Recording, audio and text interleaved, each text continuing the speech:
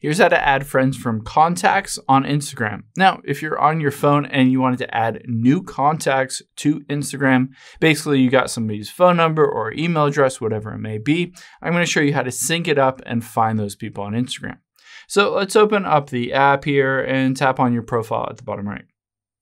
Now what you're going to do is you can see right next to share profile is a little plus with a person. So it might look like this. You're just going to tap on it and it will pop up with this discover people.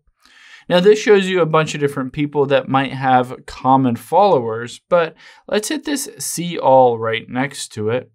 And this will show you a bunch of people that you can add as friends. However, the second option is connect your contacts. So let's hit connect here. And it says allow access to your contacts. Let's hit continue. And then just like that, it pulls in all of your contacts, your friends, friends, family members, colleagues, coworkers, classmates, all of that stuff into Instagram.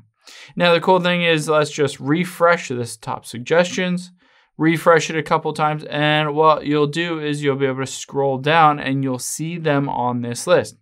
Now, keep in mind, it doesn't necessarily separate out a specific section that are just people that are your contacts that might be on Instagram. They'll be in this list. So you'll be able to just scroll through here. You can see most mutual connections.